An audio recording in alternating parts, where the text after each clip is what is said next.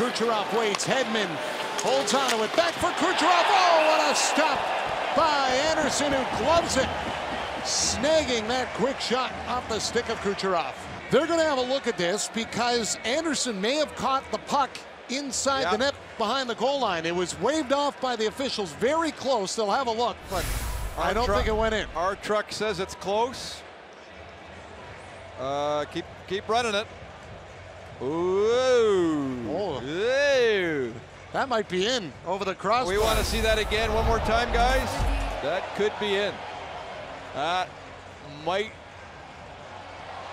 Yeah, that's a goal. Yeah, that's, That's gonna be a goal. gonna be a goal. This is a goal. They just slowed it down on the jumbotron in front of me with a huge screen here at this rink. Now watch. There it's in. Yep, that's a goal. And the fans are up reacting. They see it.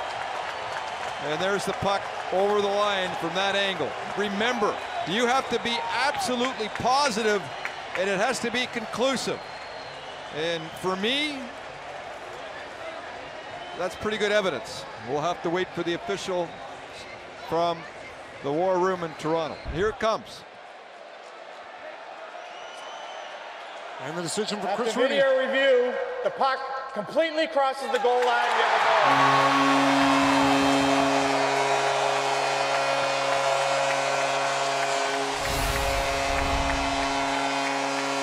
And here's the, oh yeah, there's the one the NHL just fed down for us. So there is evidence. There's evidence.